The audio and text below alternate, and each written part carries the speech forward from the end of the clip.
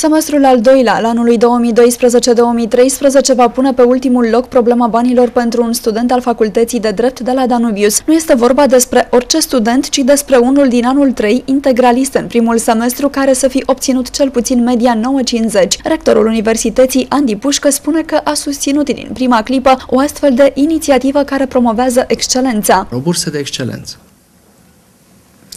Este un plan mai vechi al Universității Danubius. Uh, în 2012, anul trecut, când am candidat pe baza planului managerial, intitulat simbolic să scriem o pagină nouă împreună, la capitolul studenți chiar propuneam uh, astfel de burse uh, care valorizează competențele profesionale ale studenților, ale absolvenților. Iată că Gabriel Guriță vine astăzi și ne propune într-un mod foarte pragmatic acordarea unei burse de excelență pentru studenții care uh, acumulează competențe în așa măsură încât pot activa direct într-o uh, activitate practică, cum este cea a avocaturii. Inițiatorul și finanțatorul acestei burse private susține că va fi ales cel mai bun dintre cei mai buni. Mai întâi trebuie să treacă și prin proba interviului și să convingă că merită această bursă de 100 de euro lunar. Bursă de excelență care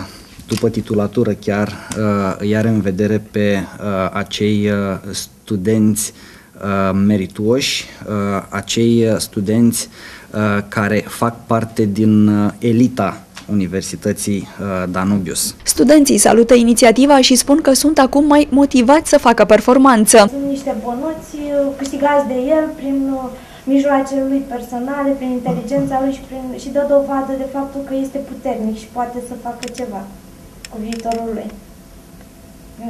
Foarte bună. Beneficiarul acestei burse va fi selectat până în luna februarie.